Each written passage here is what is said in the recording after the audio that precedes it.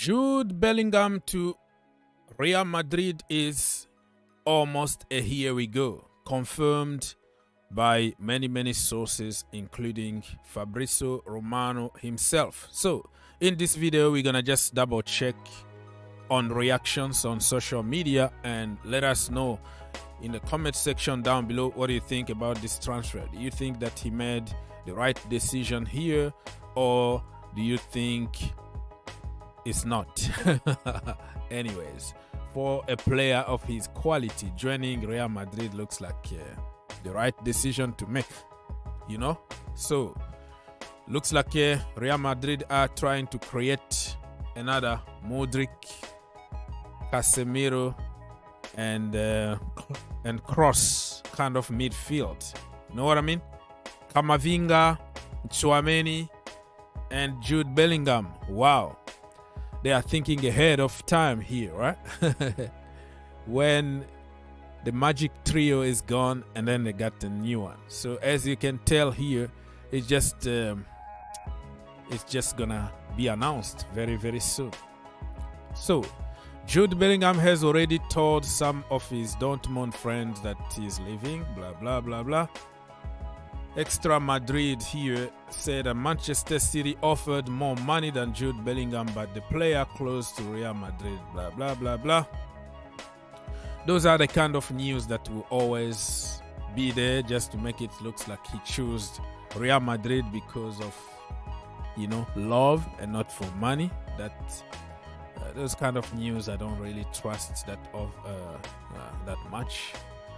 Jude Bellingham has already started chatting with Real Madrid players. All right, all right. Expected. Oh, so is this a good choice or a bad choice? Let us know.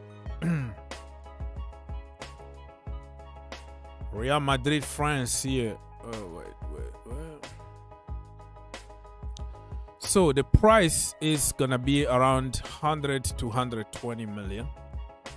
Dortmund always does uh, the good business.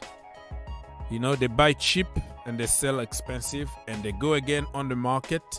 They target another another bowler and they develop that bowler and that that is a very good uh, kind of uh, business model and who's gonna replace Jude Bellingham at Dortmund Conor Gallagher is wanted by Dortmund Charlie Webster also from Chelsea Football Club is gonna uh, is somebody that uh, Dortmund been checking for a while. So I'm not gonna be surprised if it's gonna be somebody from Chelsea that will replace Jude Bellingham over there, and they're gonna develop him, and after a couple years, sell him for 100 million, and Chelsea would start fighting to to buy their own player. they can't develop, but they always wanna spend a lot of money. So I think this is a good choice for him. Uh, I didn't want him to come to England because he was going to destroy the competition, play for your opposition. uh, so yeah, just wanted to read some uh, some of the comment here. So the I think Fabrizio Romano is the guy who started all this and other people kind of copy paste. All right, let's read this one from Chelsea's transfer. Real Madrid is close to completing the signing of Jude Bellingham for the next season, and the total fee is expected to be between 100 to 100 million. This is that this was like a month ago. According to the Times, Jude Bellingham now has suitors in Real Madrid and and Manchester City, Chelsea and and Paris Saint Germain. Ah, that that was an odd article, but it was it was never going to be Chelsea, man. The way they are at the moment, the way they are struggling at the moment, I don't think any top top player is gonna accept to come to Chelsea unless if you pay a king ransom. Chelsea need to sort out many many things before even even thinking about it. Okay, so this was from Fabrizio Romano. Real Madrid are close to complete the deal of signing Jude Bellingham confirmed. Negotiations are progressing to the final stages. Personal terms are almost agreed. Juni Calafat, crucial again. So this Juni guy is uh, the transfer guru over there at Real Madrid. He's in charge of you know big big deals New meetings has been scheduled to complete the agreement with Borussia Dortmund. Yeah. So it looks like uh, this is it. This is it, people. This is it. Uh, apparently, City wanted him, but he didn't wanna. he didn't wanna go to City. He wanted just to go straight to Real Madrid. And I think in a couple of seasons from now, Erling Haaland is gonna join him at Real and uh, and it's gonna be a hell of a team, man. A hell of a team.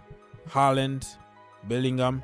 So let me know who is going to replace Bellingham at Dortmund. All right, this is it. So now we have to move to other target. Now we have to move to other target. All right, all right.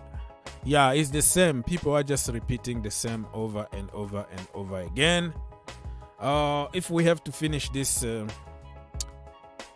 this video by talking about Leo Messi, okay, Paris Saint Germain consider Messi suspension already valid starting from today. Include group training sessions, games, uh, for the next two weeks. That means until the end of the season, literally, because the season is gonna end in few weeks from now.